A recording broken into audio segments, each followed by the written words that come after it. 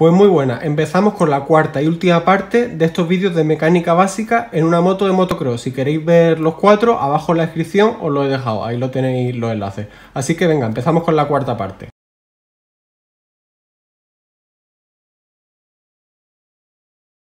Bueno, como he estado diciendo en los vídeos anteriores de esta temática, esta serie de vídeos que estoy subiendo pertenecen a un vídeo muy largo que, se, que es italiano, eh, de mediados del año 90. Por ejemplo, las motos que van a salir en esta cuarta parte, primero veréis una IZ125 del año 96, un año que ya cambió la estética, era blanca completamente como años anteriores, pero ya metió eh, Yamaha eh, en azul el depósito y las tapas laterales. También vais a ver, bueno, del año siguiente metió la trasera en blanco, otro tipo de azul la parte entera de la sabéis si viviste aquella época como, como era la del 96, la del 97, luego el 98 ya azul eléctrico, eh, bueno, eso.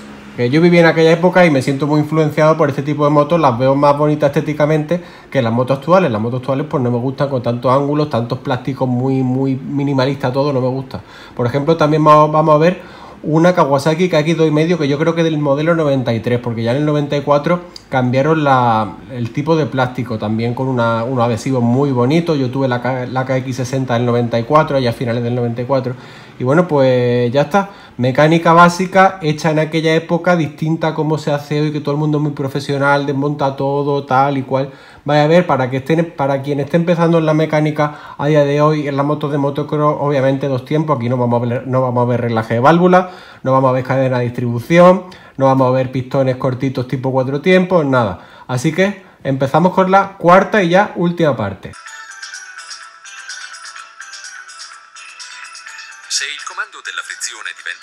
Resistente, è possibile che la causa non sia solo nella frizione, ma nel cavo che la comanda, che può rovinarsi a causa dell'acqua e della polvere che si infiltrano all'interno della guaina che lo protegge.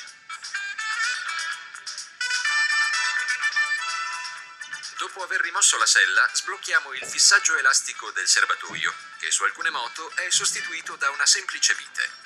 Quindi svitiamo le due viti che bloccano il serbatoio, visibili attraverso i fori dei convogliatori del radiatore. Dopo aver staccato il tubicino della miscela, togliamo la vite sotto al serbatoio, che ora non ha più vincoli e che può essere rimosso senza difficoltà.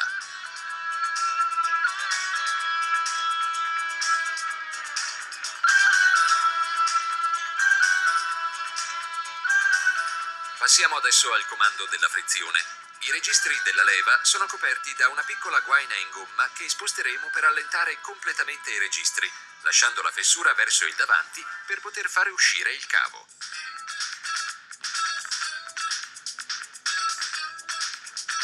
Dopo aver liberato il cavo dalla parte della leva, adesso lo liberiamo dal comando posto sul motore. Ora il cavo e la sua guaina sono liberi e li tireremo via prestando attenzione a dove passano, per poi essere in grado di montare il nuovo cavo. I passaggi corretti sono importanti. Curve troppo chiuse o strozzature possono indurire di molto il comando della frizione. Sfruttando quindi la stessa disposizione prevista dal costruttore della moto, montiamo il nuovo cavo che è sempre meglio sostituire con uno già pronto e completo di guaina. Il suo costo sarà superiore, ma garantirà maggiore resistenza e scorrevolezza. Infiliamo il nottolino che conclude il cavo nella leva che comanda la frizione sul motore e controlliamo che questa sia posizionata correttamente.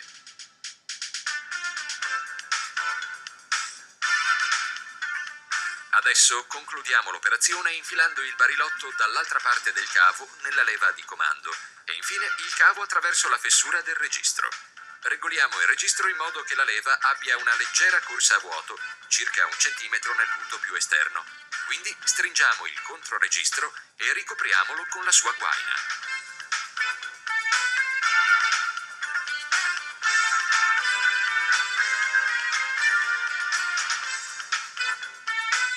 Mostriamo adesso le procedure per sostituire il cavo del gas e per smontare il carburatore.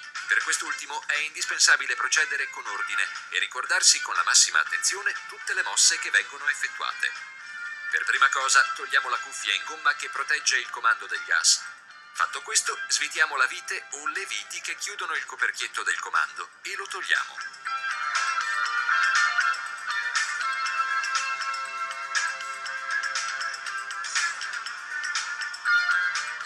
Adesso possiamo allentare il registro e liberare il cavo del gas. Ora allentiamo completamente il registro e quindi facciamo passare il cavo attraverso la protezione in gomma, liberandolo del tutto.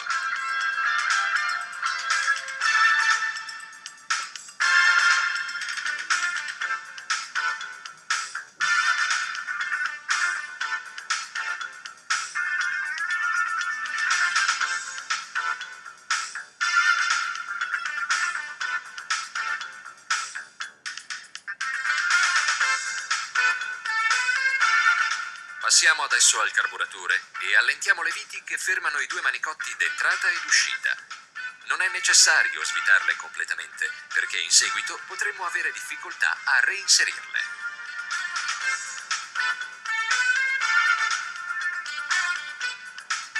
Sfiliamo il carburatore dai due manicotti spingendolo prima da una parte e poi dall'altra e, se necessario, facendolo anche ruotare un poco. Se il carburatore rimane incastrato, usiamo sempre la massima delicatezza e ricordate che se è entrato nel telaio, in qualche modo dovrà pure poterne uscire. Con il carburatore sfiliamo anche tutti i suoi tubi di sfiato. Quindi togliamo le viti che fermano il coperchio del carburatore così da poter liberare il cavo del gas e la valvola a ghigliottina.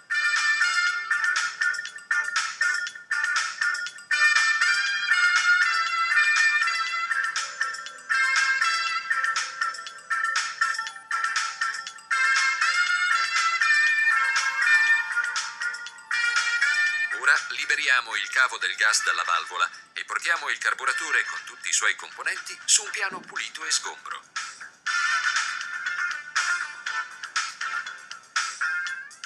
Svitiamo adesso la vite o le viti che fermano la vaschetta.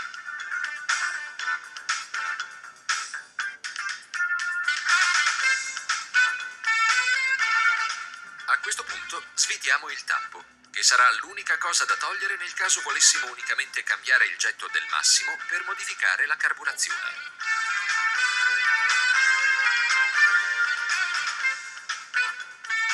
Smontiamo ora il getto del massimo.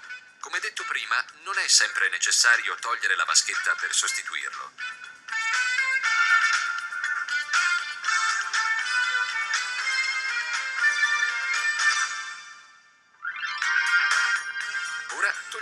Galleggiante. È un componente che va maneggiato con la massima delicatezza e che è meglio lasciare al suo posto a meno che non sia necessario variarne il livello.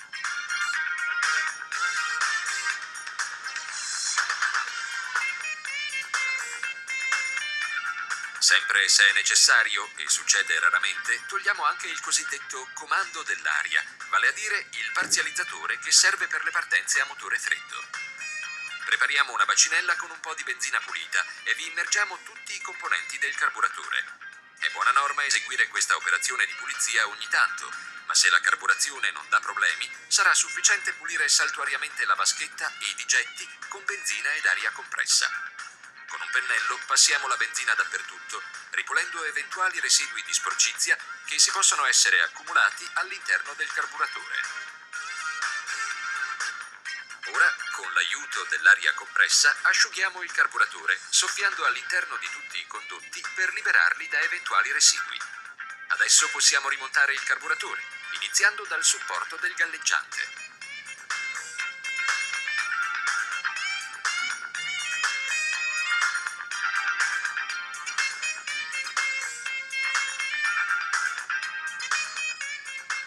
Quindi è la volta del galleggiante stesso, ricordando sempre che è un componente estremamente delicato.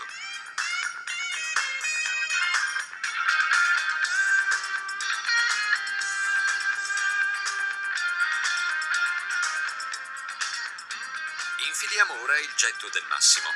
Sostituendolo con altri aventi il foro più grande o più piccolo, potremo variare la carburazione rispettivamente ingrassandola e smagrendola.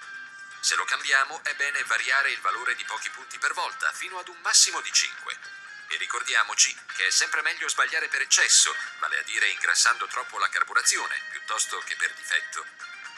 Concludiamo quindi il lavoro al banco rimettendo a posto la vaschetta con le sue viti e il tappo.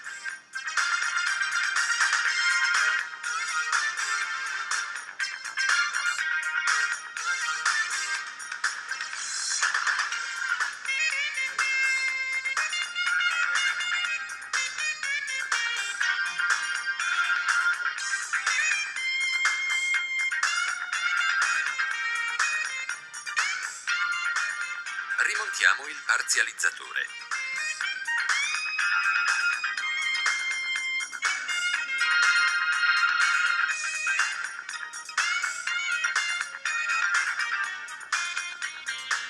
Prendiamo adesso la valvola a ghigliottina e la sua molla di contrasto. Facciamo passare il cavo del gas attraverso la molla. Quindi infileremo il nottolino che conclude il cavo nel foro all'interno della valvola. Posizioniamo correttamente il nottolino in maniera che non possa sfuggire e quindi la molla all'interno della valvola.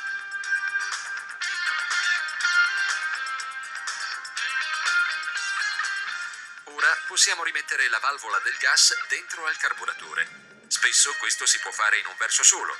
Nel caso che non sia così, naturalmente dovremo rimetterla nel verso corretto. Facciamo attenzione a che lo spillo conico si infili correttamente nel carburatore. Anche questo è un componente molto delicato e va trattato come tale. Infine potremo richiudere il carburatore riavvitando le viti che fermano il suo tappo.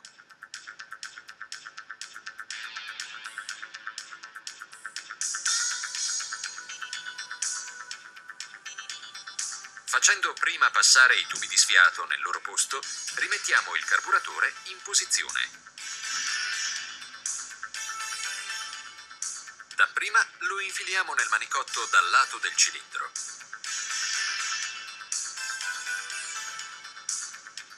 Quindi in quello dalla parte della cassetta filtro.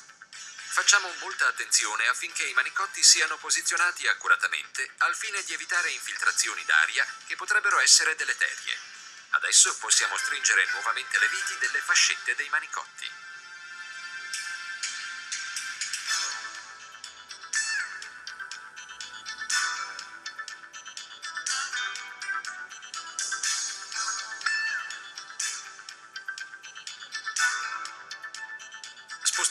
Ora sul manubrio. Facciamo ripassare il cavo del gas nella cuffia di protezione e riavvitiamo il registro del comando.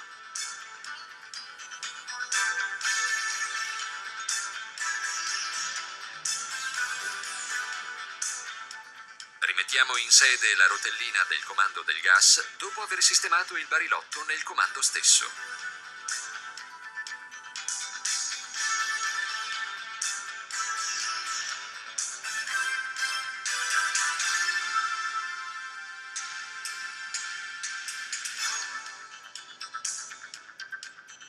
Possiamo adesso chiudere il comando con il suo coperchietto e le sue viti, facendo come sempre attenzione a eseguire un lavoro accurato.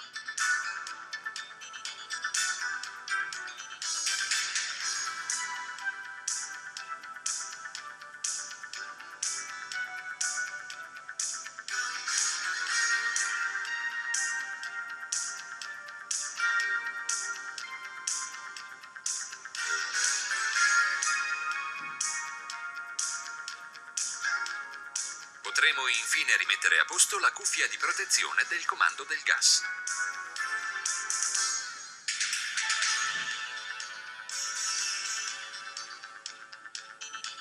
Controlliamo che il cavo del gas abbia una lieve corsa a vuoto. Deve essere possibile sentire entrambi i fine corsa della valvola all'interno del carburatore.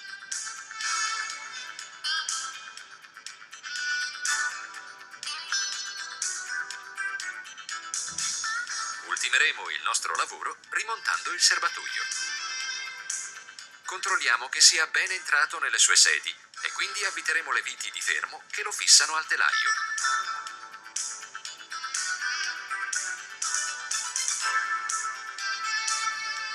Naturalmente non dimentichiamo il tubo della miscela.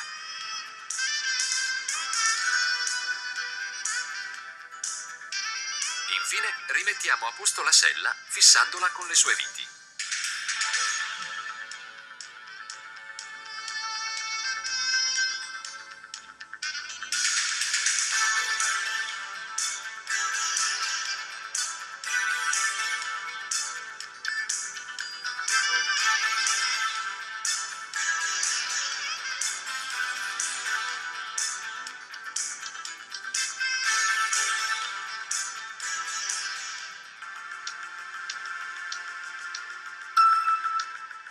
Parti mobili della nostra moto devono poter fare il loro lavoro con il minimo sforzo. Per questo lubrificheremo di frequente gli snodi della leva d'avviamento, il perno del pedale del freno,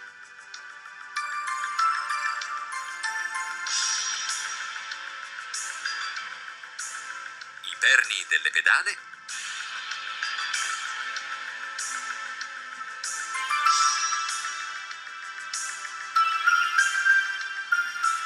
lo snodo del pedale del freno che deve potersi piegare facilmente.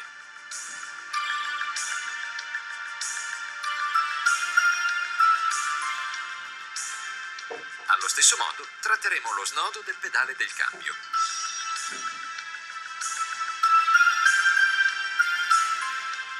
E quindi l'altra pedana.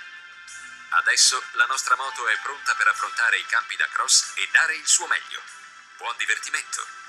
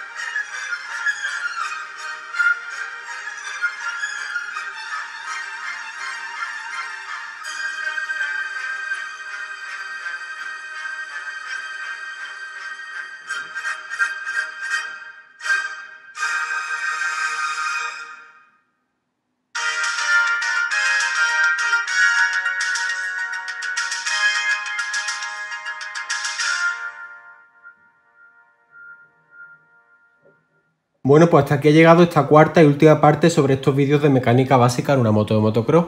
Eh, ahora al final del vídeo dejaré aquí a la izquierda el enlace a la lista, bueno, la tarjetita o la ventanita con la lista de reproducción de mecánica en, la, en mi IZ125 en la que podéis ver mucho más detallado muchas cosas que han salido ya en esta, además con comentarios míos en español, eh, desmontando todo, poniendo tipos de grasitas especiales, apretando con, pared, con llave dinamométrica, comentando los pares de apriete, en fin, un poquito más detallado, más lo que se estila pues casi 30 años después de las imágenes que habéis visto anteriormente, ¿no? Habéis visto también casi, bueno, finalizando, eh, que he querido dejar pues esas imágenes de competición de aquella época. Eh, para mí la categoría 125 pues es la más bonita, ¿no? Es una categoría escuela, pero a, su vez también es una categoría para quien quiere continuar con esa cilindrada, ¿no? Es una categoría que te permite eh, aprender, pero eh, también ir rápido si quieres, ¿no? Y bueno, por una 125 anda mucho, lo que pasa es que hay que saber llevarla. Y en aquella época había muy, muy, muy buenos pilotos